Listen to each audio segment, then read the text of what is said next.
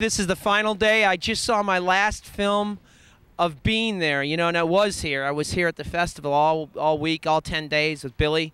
We uh, we I think we gave you some good coverage and uh, we're just so happy to be here every every step of the way. Every every little step is the uh, last film and Billy's going to go inside and take a look about Chorus Line.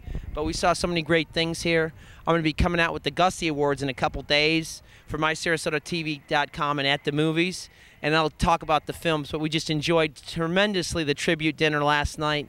Everything was fabulous. A lot of love in that room about Hal Ashby. I started the festival watching The Messenger, which is fabulous. I went into a Harold and Maude thing, and I ended with being there, and you can't get any better than that. My hat goes off to the uh, Mark Famiglio and uh, Tom Hall, Holly Herrick, Tom Garrett, everybody involved in this festival, the, the, the hordes of volunteers. This thing ran without a glitch. And um, there will be a festival next year. It's already scheduled for the, I believe, the 9th or the 19th of uh, April, Billy, if I'm not mistaken. And uh, But check out our coverage, mysarasota.tv.com. And I'm going to come out with the Gussies in a couple days.